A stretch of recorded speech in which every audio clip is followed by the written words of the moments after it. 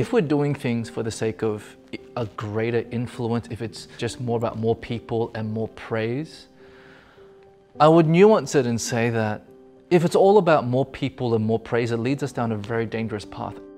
If our convictions are not grounded in scripture, we will be swayed by public opinion.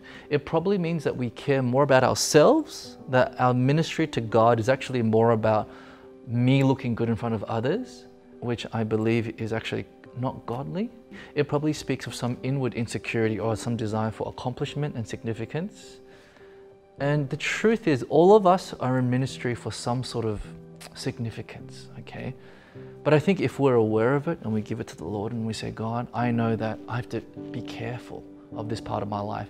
I am not my accomplishments.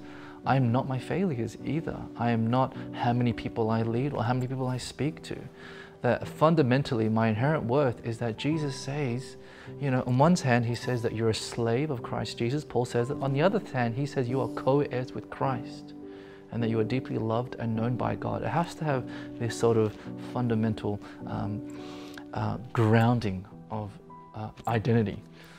So, on a practical level, for me, it means on Tuesday mornings, I have my alone time and I have a coffee and I reflect the week, okay? And it's in those times I'm reminded of number one, how ordinary I am.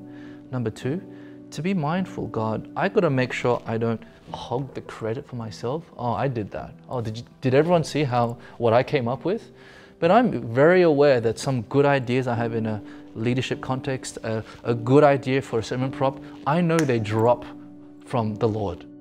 They, they drop from God. Seriously, I'm not even joking. And I know that God, that was you. That, that illustration, that came from you. That image came from you. And I just say, Thank you, Lord. I just steward it. Right? And then thirdly, there are just people that keep me accountable. I talk to my friends and I let them speak into my life, even if they say things which are um, uncomfortable.